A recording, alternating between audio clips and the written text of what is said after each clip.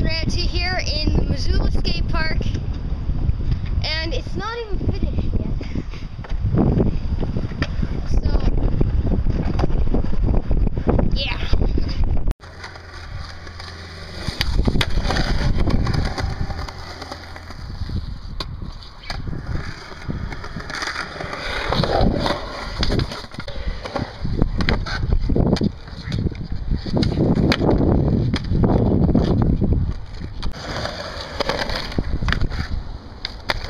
Thank you.